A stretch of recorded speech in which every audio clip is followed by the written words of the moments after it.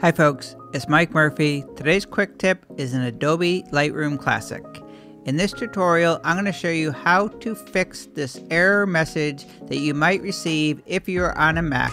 So if every time you open up Adobe Lightroom Classic, you see this error message telling you that Lightroom Classic does not have access to some standard folders, here is how to fix it. I am on a Mac running Sonoma 14.0. When I open Adobe Lightroom Classic, it loads my catalog. I have an external hard drive with my photo library, so it should recognize my photos. But I notice right away that I see the exclamation over all my thumbnails indicating that it cannot find my photo library, which again is attached. And then I receive this error message every time saying that Lightroom Classic does not have access to some standard folders. So I'll click on Learn More this will open up an Adobe Help article in a web browser which will walk you through how to fix the issue, and the issue is all related to a new privacy structure that was released in Mac OS Mojave. So all we need to do to fix this issue is to add some permissions in your system preferences on a Mac. Go up to the top menu and click on the Apple. Then click on System Settings. On the left sidebar, click on Privacy and Security.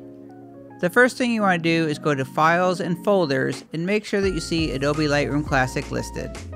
So there I see Adobe Lightroom Classic and just make sure that all of the selections are toggled on or you can see the blue. So that all looks good. The next thing we need to do, click on Privacy and Security again to go back to the main list and you want to go to Full Disk Access. I'll click on the arrow and now you're looking for Adobe Lightroom Classic which I do not see in my list. So I need to add that. I'll click on the plus symbol at the very bottom. You need to use your password to access your applications, so I'll click that. I'll enter in my Mac password. I'm going to go to my applications folder and I'm going to search for Adobe Lightroom Classic.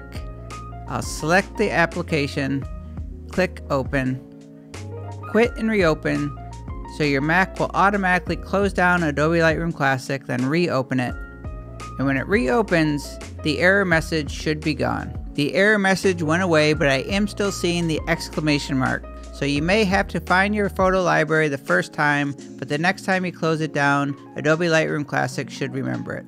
So I'm just going to twirl that open. I'm to right click, find missing folder. I'll navigate to my photo library, click choose. All the exclamation marks have disappeared. I'll quit Lightroom Classic by going to the File menu, Quit, I'll reopen Adobe Lightroom Classic. The permissions error message pop-up is gone, and so are the exclamation marks. Perfect.